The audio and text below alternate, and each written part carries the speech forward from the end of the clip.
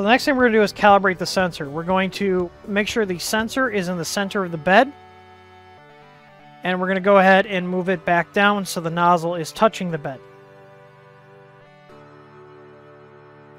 So we're going to go ahead and turn our printer on. And we're going to go ahead and go to motion, move axis, and we're going to move Z, move one millimeter, and move up two total. Then we're going to come back out, and we're going to go ahead and set the bed to our print temperature. In this case, it would be 60C.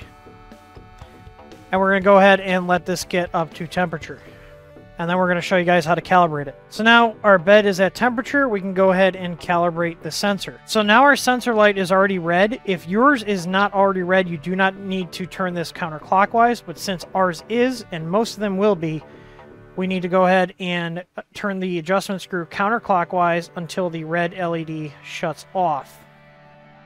So now the red LED shut off, we want to slowly turn it back clockwise until the red LED turns on.